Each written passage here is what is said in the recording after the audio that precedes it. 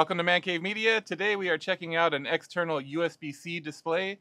Uh, I'm sure you've seen a ton of these things everywhere. They are on Amazon, they are on AliExpress, etc., etc. This particular one came from Amazon. And of course, whenever I review something on Amazon, I do leave a affiliated link in the description. If you click on that to buy this product, you will be helping my channel. Uh, but without further ado, uh, let's go ahead and get it out of the box and then I will get into the specs, shall we? So for this guy, I went with a 16 inch because my personal uh, MacBook Pro is a 16 inch. So I wanted something that matched the size because I'm just weird that way.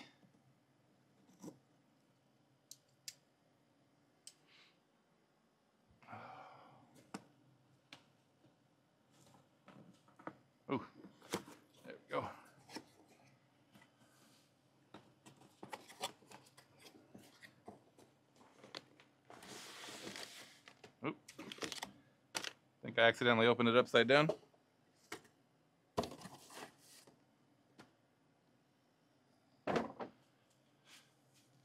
Whoops. So we've got some paperwork here, user manual, several different languages. We have, what is this? This looks like a HDMI mini. Yep, this is an HDMI mini to full fat HDMI cable. We have, this looks like a USB-C cable. Yep, USB-C to C. I wonder if this is USB-A to C. Uh, no, it looks like USB-C to C. I think we get two USB-C to C cables. Yep. Pretty cool. And I'm guessing this is going to be the power brick. That is exactly what it is. This is your standard wall wart. I don't see any specifications on it anywhere at all. So um, I'll look at the product description here really quick and see if I can find out. Oh, duh, there it is. Uh, it's hard for me to read it. Hold on. 20 watt. So 20 watt uh, wall wart. It is USB-C, thankfully, since that's all they gave us. Let me police the area here. All right, on to the star of the show.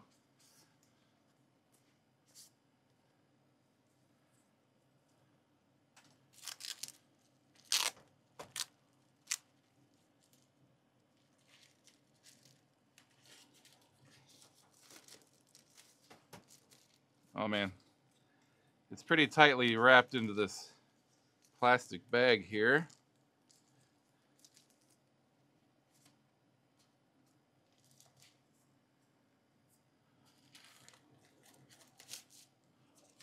There we go. Straight away, the cover kind of gives me uh, iPad Folio vibes.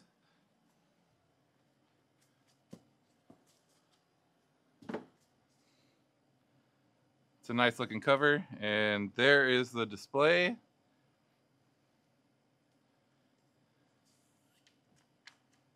Pretty nice matte display. So on the sides, hang on a second, let me focus my camera. So on the sides there you see two USB ports and the mini HDMI. And then on the other side, we have a power switch. We have what looks like a volume rocker and the three and a half millimeter jack. Three and a half millimeter audio jack. All right, looks like it's got a little film screen protector over it here.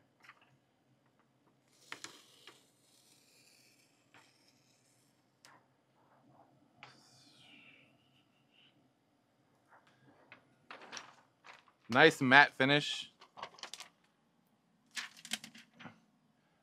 I don't know about you guys, but I'm a fan of the matte finish. I don't like glossy finishes on my monitors, but all right, let's go ahead and get it set up here and get this party started, shall we? Oh, the case does remove.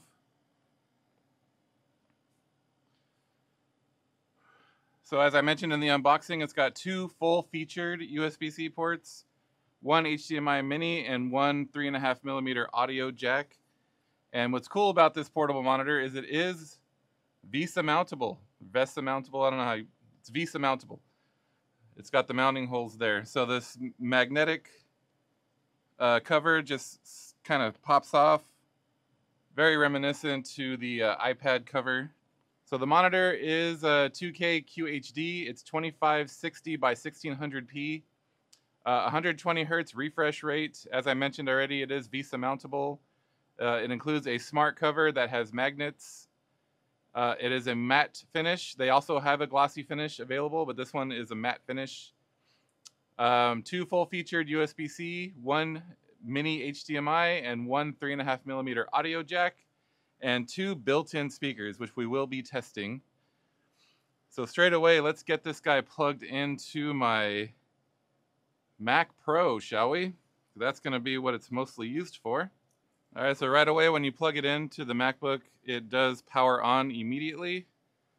And we get a no signal. Let's see what's going on here. Oh, there we go.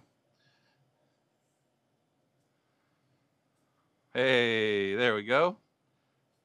All right, this is a very nice looking display. It is a little dim.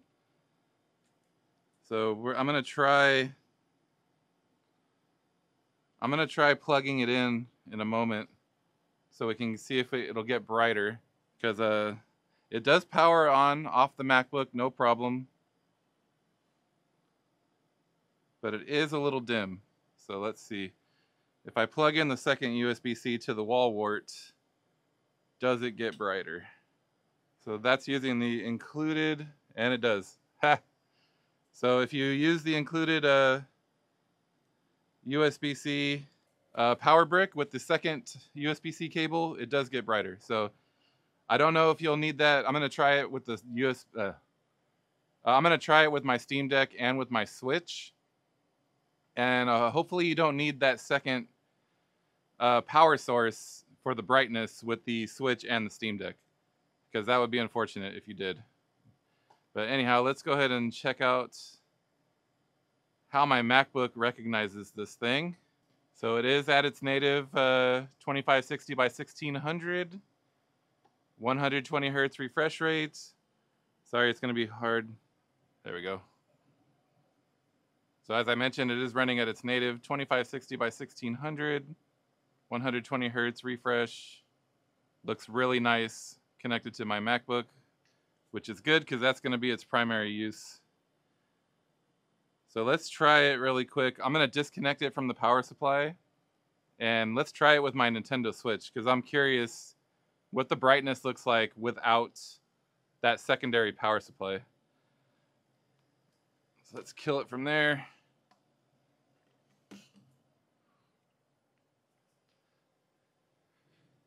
Get my Nintendo Switch.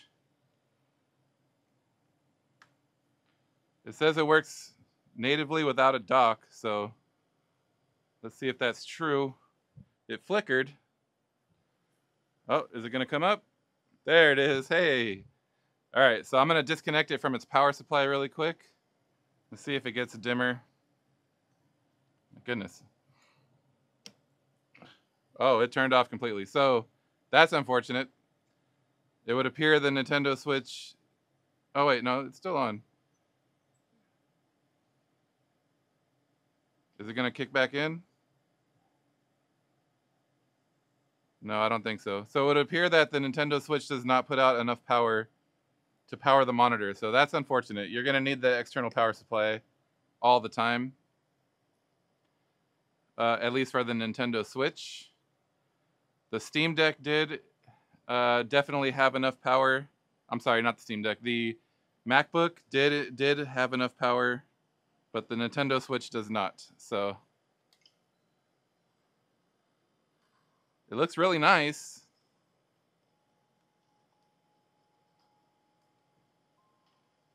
Very nice, actually.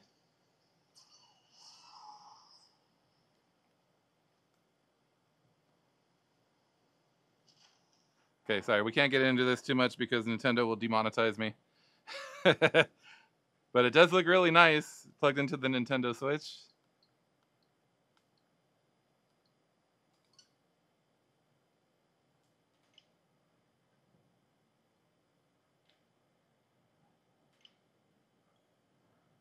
Let's play a little Elder Scrolls. Maybe I'm less likely to get demonetized by Nintendo if I'm not playing Zelda. Maybe I don't know.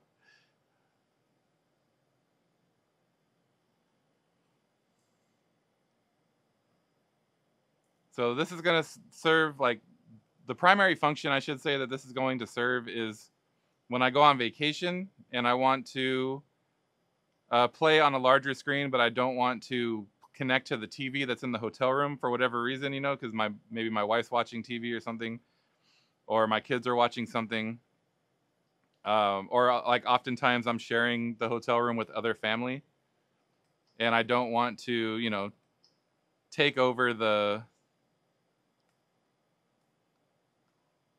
uh, the TV that's in the room. And the other purpose this is going to serve is when I'm editing video on the go and I'm not home to do so, it's nice to have that second screen. If you use uh, Adobe Premiere like I do, then you understand that it is nice to have that secondary screen. All right, so here's a little uh, Skyrim. Yes, I do have Link's Champions Tunic. That was one of the reasons why I bought Skyrim for the fourth time when they announced it for the Nintendo Switch. I did um, I did purchase it solely for the uh, Champion's Tunic, and you can also get the Master Sword in this version of Skyrim. But so it does look really good on the Switch. Uh, the speakers do sound pretty decent, at least on the Switch. Uh, let's go ahead and let's try uh, my Steam Deck and see how that goes, shall we? So technical difficulties, one second. Um, in classic fashion, my Steam Deck OLED is dead. I forgot to charge it this weekend, so I'm gonna go grab my old Steam Deck really quick. BRB AFK. All right, classic man cave media. So this is my standard. Oh, that looks terrible. This is my standard um, uh, Steam Deck. I plugged in my OLED right now so it will charge. Let me uh, restart my video here. Um, I wanted to try this out on my OLED Steam Deck. I'm gonna let it let it uh, charge up for a moment because um, I wanted to see if I could get that maximum refresh rate this right now, this is plugged into my original Steam Deck, the 256 version. Oh no, down he goes. Bye, Sonic.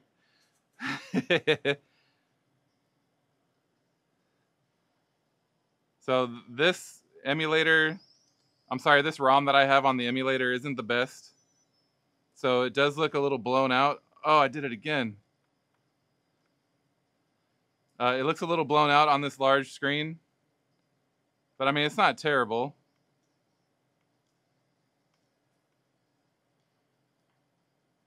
I think I'm at a boss level here. Yes, I am. Yeah, it's not terrible, but it does look a little bit like hella blown out. Ah, not paying attention. My goodness. All right. All right, while I'm giving my Steam Deck some time to charge up, let's go over pricing. I usually save this for the end of the video, but you know how it goes sometimes. Um, the one that I purchased here, the uh, the 16 inch 2K variant with the matte finish, is currently $143 on Amazon. Uh, I noticed it on AliExpress for 135, but you do have to pay for shipping. Uh, so if you're not a Prime member, you might want to explore uh, AliExpress or probably even Banggood. Um, I'm sure they have it there too, and see if you can get it for a little bit cheaper. Uh, if you're not a Prime member, if you are a Prime member, then it's probably a wash because you get free shipping. They have a 4K version that is $295. So the 4K version is only 15 inches and it is only 60 hertz uh, refresh, and it's $295, which I mean,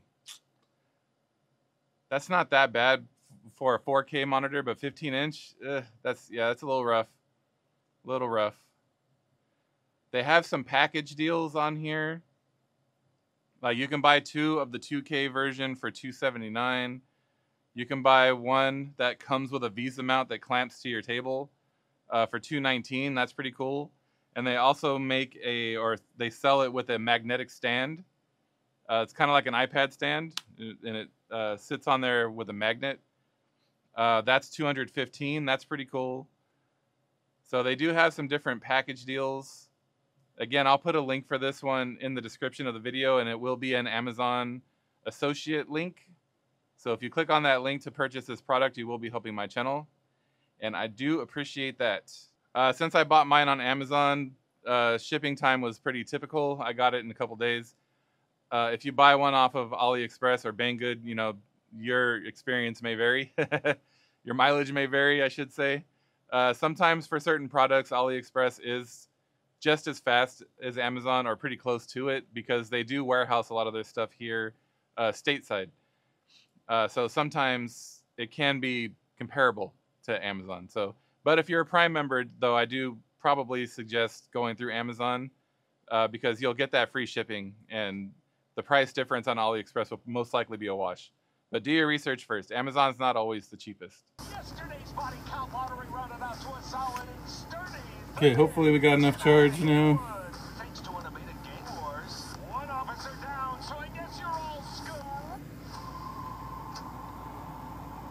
Let's try running the benchmark again.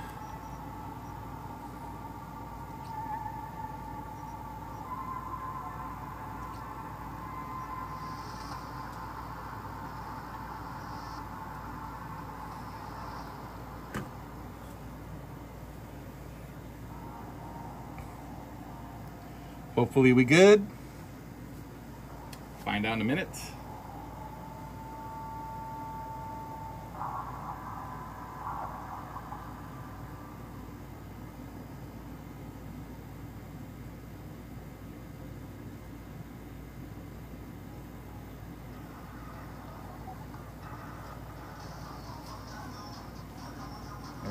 It is running the benchmark, but it looks like it is stuck at 30 frames per second, which is not what I was hoping for.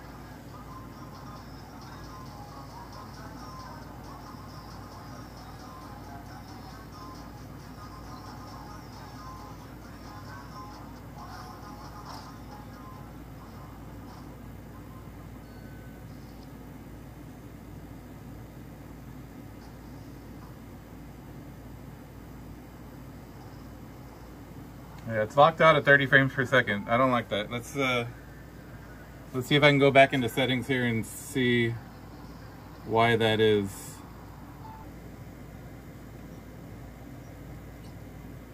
Oh, there. Jesus. All right, let's see.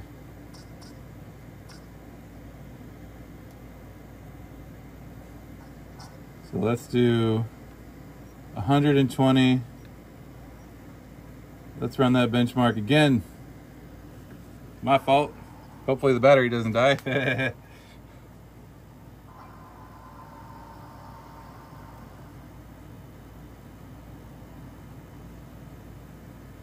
oh, come on. Okay, woo. Got a little worried there. All right, we are uh, 39 frames per second, 38. Still, the Steam Deck can't handle it, man. The Steam Deck can't handle it. Oh, up to 40. It hit 40 there for a moment.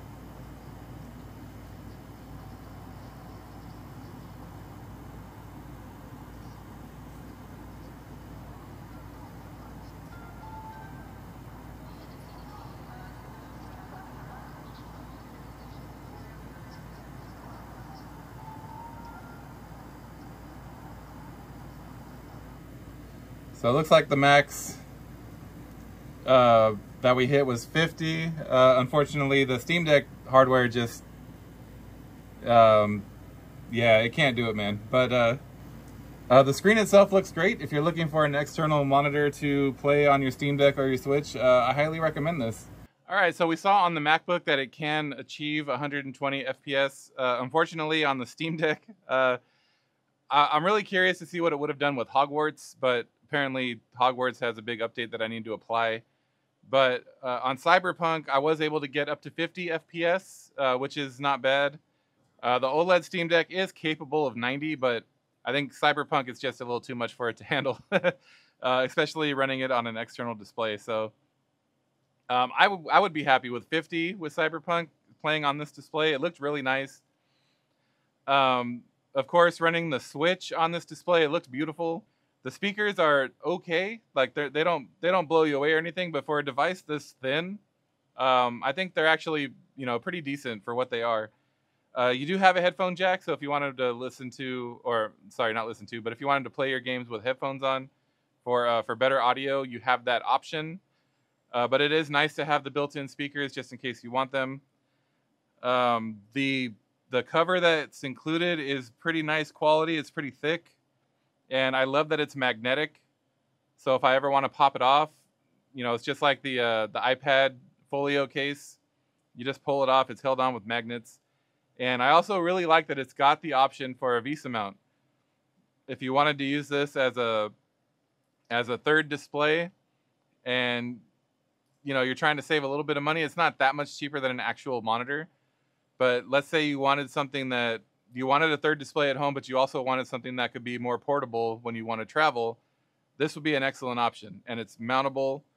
And you could even get a magnetic mount and not even use the VESA mount. But uh, let's say you had an extra stand or something laying around, you could mount this to it and use it as a third monitor at home. And when you travel, just pop it off and take it with you uh, with the magnetic case. So, very versatile monitor. Um, very happy with my purchase, and I highly recommend it. All right, that's all I have for this one. Thank you again for stopping by. Please smash that like button if you enjoyed this video and help feed that algorithm. I hope you have a great afternoon, and like always, thank you for watching.